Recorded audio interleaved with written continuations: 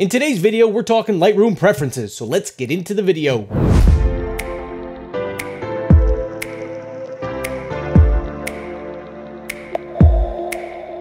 Now that we got going in Lightroom, we have some photos imported into the program, we need to talk about the preferences a little bit. There's some things in there that we may want to select or maybe you don't want to select, but I wanted to run through them real quick, give you a quick overview, and let you decide on how you want to set up your preferences for Lightroom. So let's get over into Lightroom and get started. So here we are in Lightroom and I'm going to show you just a few quick preferences that I use, that I select, and uh, let you kind of decide how you want to set your Lightroom up. So to get the preferences, we come up to Lightroom in the top menu bar here come down to preferences, start out in the general tab here. One of the things I do check is automatically check for updates. I wanna make sure Lightroom is always up to date. Under default catalog, when starting up, use this catalog. And I always select load the most recent catalog. I generally work in one catalog, but if I am in a different catalog for some reason, I wanna make sure whatever catalog I last used is the one that loads up. Under import options, I generally have show import dialog when memory card is detected. I select that, and that way when I plug in my memory card, it'll automatically pop up right here in Lightroom.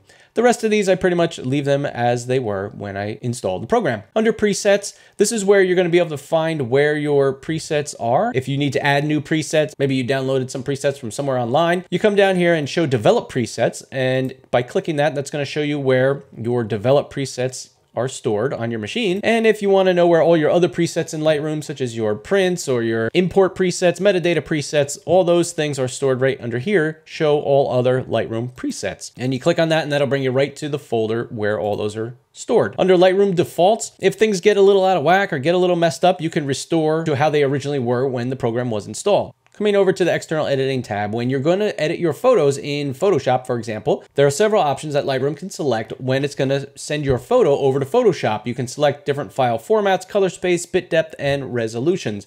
I usually go with a PSD file. I use Adobe RGB, or you can use ProPhoto RGB. That'll give you more colors. I just stick with the Adobe RGB. It seems to work out okay for me. Bit depth, I use 8 bits because I find that the files are just a little bit smaller. And resolution, I use 300. So if you have a program other than Photoshop that you like to edit your photos in, uh, for example, I have some of the ON1 programs, you can select your options down here for that program. Allow Lightroom to apply those settings as it exports to whatever program you might want to use. You can stack it with your originals once the photo comes back into Lightroom.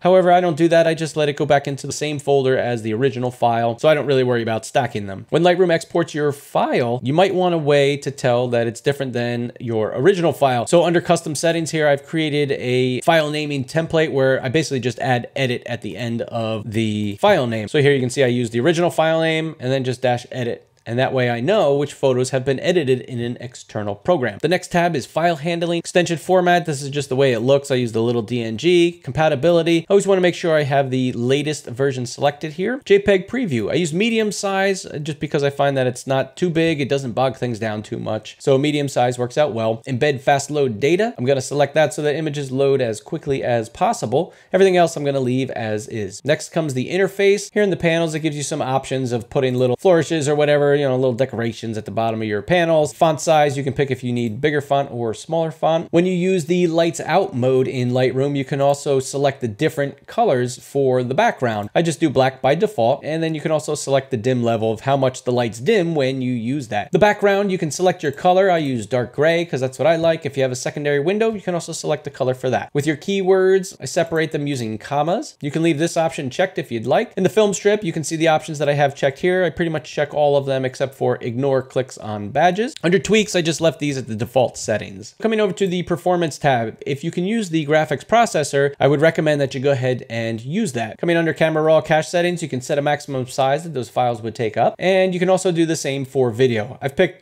30 gigs for photos and 20 gigs for video. I guess you can pick whatever you want. And if you ever notice that Lightroom is running a little sluggish, I come in here and I'll click purge the cache every once in a while just to make sure everything gets cleaned out and nothing's kind of getting bogged down and backed up. Under develop, I leave the first one checked, which I believe is default. So under catalog settings here, you have a whole nother set of settings for your catalog, which we'll go over in another video. But one of the important things here is optimize catalog. So if you notice that your Lightroom catalog is running a little slow and sluggish, you've tried purging these two things up here, here, you can optimize the catalog and that kind of just cleans it up and helps it run a little bit smoother. You know, every once in a while things need to be tidied up a little bit. So optimize catalog helps get that done quick. Moving over to Lightroom Sync, this is where you log in to sync your photos to Lightroom Mobile, assuming you have a Lightroom cloud subscription and this is where you're going to be able to do that. Options prevent sleep during sync. So when I'm syncing photos, I don't want the computer to go to sleep. Leave that checked. The next down here, we have location. And when you're syncing photos with Lightroom Mobile, let's say, for example, you use Lightroom Mobile to take a few pictures and you use the Lightroom app on your phone. When it comes back to your computer, you can specify where you want to put those images. Coming over to network, I don't use this tab. I just leave it blank and don't worry about that. So there you go. There's a quick overview of the Lightroom preferences panel and how I have some of my settings set up. And uh, hopefully you can get yours set up pretty good so that as we bring more photos into Lightroom and we get going more in Lightroom, you're all set up and everything's gonna work good, smoothly, and you have your preferences all squared away. So I wanna thank you for stopping by and checking out this video. If you're into photography, Photoshop, Lightroom, and even a little bit of video and video editing,